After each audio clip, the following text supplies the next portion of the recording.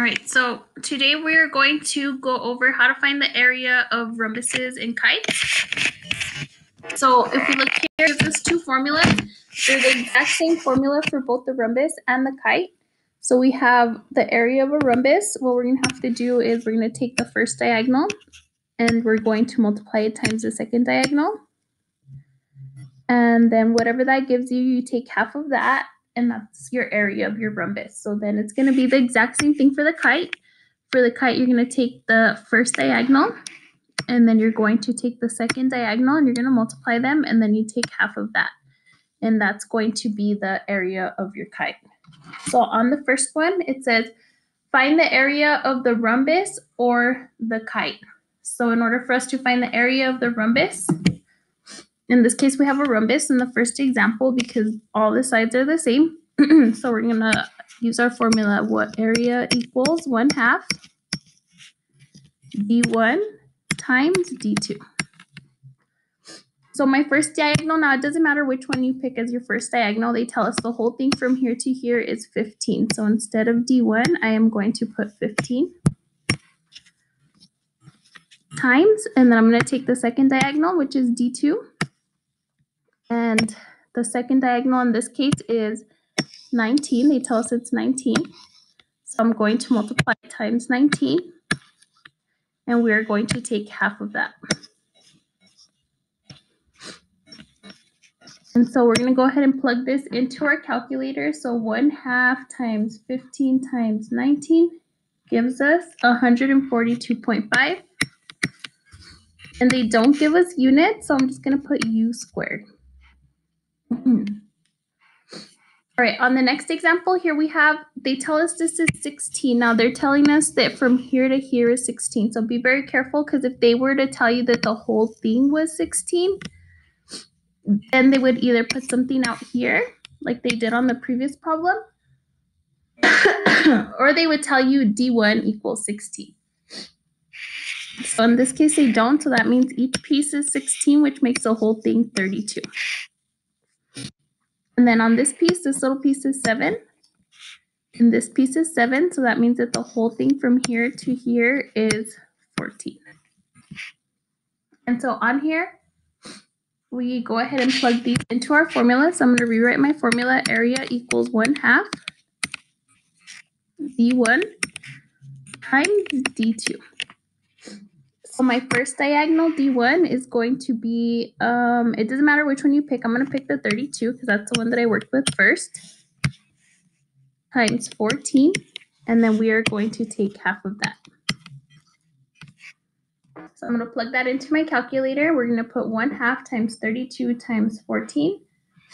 And that gives us 224. So Our area equals 224 units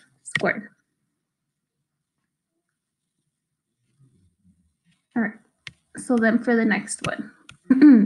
so on this one, this case, we have a kite. And so on this one, they do give us the full diameters. I mean, the diagonal. So area equals 1 half d1 times d2.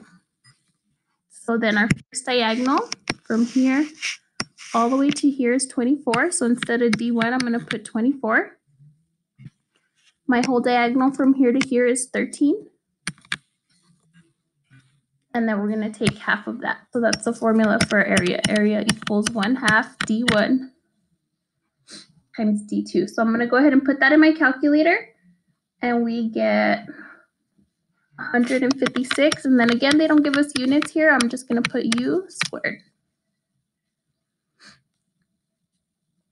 All right, so then this next one now, because this is a kite, the 10 and the 6 all together, this first diagonal, remember, because this side's a little bit longer, that's why it's not the exact same number. The 10 plus 6 gives us 16. So our first diagonal is 16. And then because this is a kite, if this piece is 5, then this piece is also 5, which makes this whole side from here to here equal to 10. So I'm going to go ahead and plug this into my formula. I'm going to rewrite it. Area equals 1 half d1 times d2. So I'm gonna go ahead and plug in, instead of D1, we know D1 is 16. And we know that D2 is 10. And we are taking half of that. So we plug this into our calculators and that's gonna give us 80. It's not writing. 80.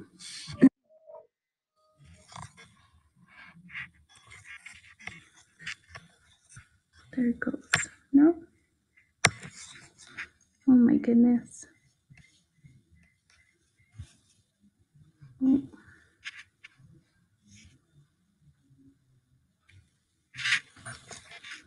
Units squared.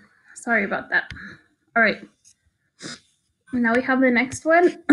it says the area of the kite is 156 inches squared. Find the length of the other diagonal. So this one's a little bit different. We're working a little bit backwards. They do give us the area. So I'm going to write down the formula. Area equals 1 half times D1 times D2. And so in this case, they give us one of the diagonals is 26. So instead of D1, I'm going to write the 26.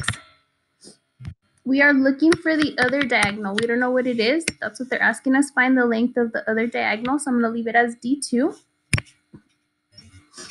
This one half is still going to stay the same. And then our area is 156 inches. So instead of A, I'm going to put 156. so from here, we have one half of 26. So half of 26 we know is 13. So 156 equals 13 times our second diagonal. And then from there, we're going to go ahead and solve for our second diagonal. So the way that we get rid of the 13, since it's being multiplied times the d, we're going to divide by 13. So then we punch in our calculators, 156 divided by 13. That gives us 12. So 12 equals D2. And that's it. So if you have any questions, you guys can go ahead and leave a comment and I will go ahead and respond as soon as possible, or you can come by our office hours between 8.30 and 9.15. Thank you.